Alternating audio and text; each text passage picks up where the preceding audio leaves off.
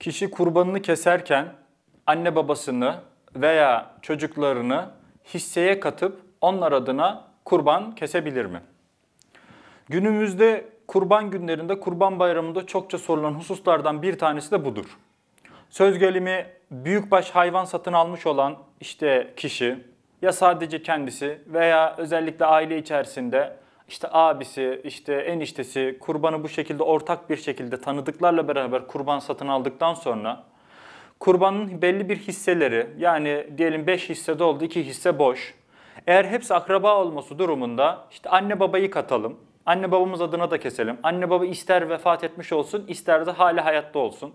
Veya kendi kişi kendisi kesmesi durumunda ya hisse zaten boş kaldı. Bu hisseler boş olmasın. Çocukları da ekleyelim. Ben kendi çocuklarımın adına da kurbanı keseyim. Bu şekilde bir uygulama söz konusudur. Ve bunun fıkhi durumu da Hanefi mezhebine göre çokça sorulmaktadır. Şimdi Hanefi mezhebinde kesilen kurbanın vacip olup kişinin üzerinden vacip ibadetini düşürebilmesi veya kişinin üzerine far vacip değil de nafile ise ve kişi nafile ise de kişi adına bir ecir mükafat olabilmesi için kişinin o hayvana malik olması gerekir. Söz gelimi bu sormuş olduğumuz, bu bahsetmiş olduğumuz konuda anne babanın evlatları, çocukları için böyle bir hayvan e, çocuk anne babanın evlatları, anne babaları için böyle bir kurban keseceklerse veya baba evlatları için böyle kurban kesecek ise burada bu hisseyi e, çocuklarına hibe etmesi veya onlara hediye etmesi durumunda anne baba veya çocuklar buna malik olup ve kurban esnasında da bunlar da niyete katılacak olursa kurban ibadeti tahakkuk edecektir. Burada temel prensip şudur. Hisselerin onların mülkü yapılıp hibeyle, hediyeyle e, artık ne şekilde olursa olsun onların mülkü yapılıp onların mülkü olduktan sonra kesim esnasında da onlar niyete katılacak olursa veya bu hayvanın hissedarları kimse diye niyet edilecek olursa bu durumda bunlar açısından kurban ibadeti tahakkuk etmiş olacaktır. Zira bu mesele yani hayvanı satın aldıktan sonra hayvana bu şekilde yeni hissedarların katılma meselesi Hanefi mezhebinde şu şekilde incelenir. Hanefi kitaplarında kurbana yeni hissedar alma yani iki kardeş aldılar sonra annesi de olsa babası da olsa bu yeni bir hissedardır. Çocuk da olsa çocuğuna da dinletse o ecir alacaksa bu da yeni bir hissedardır. Bu şekilde kurbana yeni bir hissedar alma meselesi Hanefi kitaplarında her ne kadar böyle bir uygulama kıyasa muhalif olsa da zira kişi söz gelimi önce diyelim bir büyükbaş hayvanın işte yarısını Allah için söz veriyorken daha sonra yeni bir hissedara onu hibe etmekle veya para karşılığı satmakla yarıdan dönüyordur, daha düşüğe dönüyordur. Allah'a verilen sözden geri dönme vardır.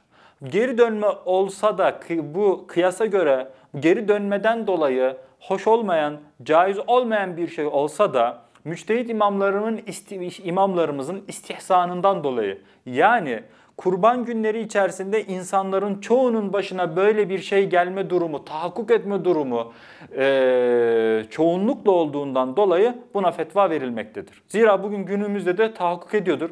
Vatandaş hisseyi alıyordur ya daha sonra ya başka birini de alalım hayvan zaten büyük. Veya hayvanı kaçırmamak için hayvan satın alıyordur. Daha sonra yeni bir hissedar talep ediliyordur. Bu şekildeki tahakkuku vukuuna binaen, çokluğuna binaen istihsan gözetilmiştir. Onun için bu kişi kendi kurbanında anne babasını da e, katsa, çoluğunu çocuğunu da katsa onları bedelsiz katması hibe niteliğini taşıyordur. Yani ben anneme ve babama bu hayvan içerisindeki yedide bir hisseyi kat, hibe ettim. Veya babama hibe ettim.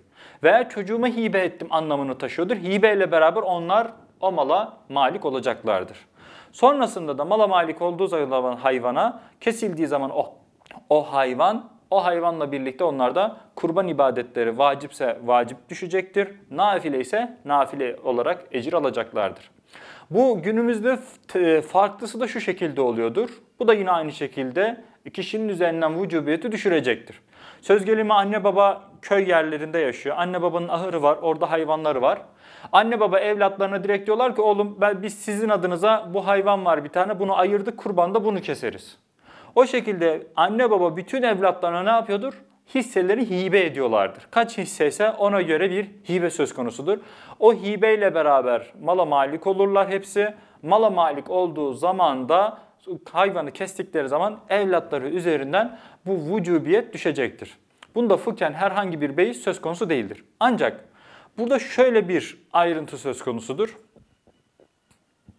Eğer anne baba hala hayatta değil de vefat etmişler ise fıkıh kitaplarımızda şöyle bir ayrıntı vardır.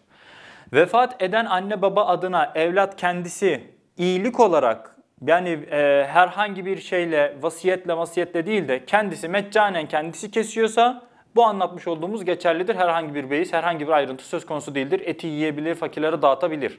Zengine de yedirebilir. Ancak anne baba kendisi vasiyet etmiş ise yani ben öldükten sonra benim adıma kurban kesin demiş ise ve evlat da o hisseyi katmış ise o hissede vasiyetli olan hissede e, anne babanın eti hissesi yenilemez, zenginlere yedirele, yedirilemez. O etin fakir fukaraya tasadduk edilmesi zorunludur. Toparlayacak olursak Hanefi mezhebinde bugün günümüzde olduğu gibi evlatların anne babalarına ki hibe e, hisseyi hediye edip onlar adına kurban kesmesi veya babanın kendi çocukları için hediye olarak kurban kesmesi, işte al oğlum ben senin adına kestim şeklinde ve de onların da anne babaya vekalet verip veya evlada vekalet verip tamam baba bizim adımıza kurbanımızı kes veya tamam biz keselim bunu şeklinde e, iradeleri alınması durumunda bu şekildeki kesilen kurbanda Hanefi mezhebi açısından bir problem söz konusu değildir. Bu kişi, bu kesilen kurban e, hediye edilen ve hibe edilen şahıslar açısından vacipse vacip kurbanı, nafile ise nafile e, kurban sevabı kişiye kazandıracaktır. Sadece vefat etmiş olan anne babada vasiyet ayrıntısı vardır. Eğer vasiyet var ise bu durumda yani benim adıma kurban kes dediyse bu durumda e, o etten yenilemez, zenginlere de yedirilemez. O et fakir fukaraya tasadduk edilmelidir.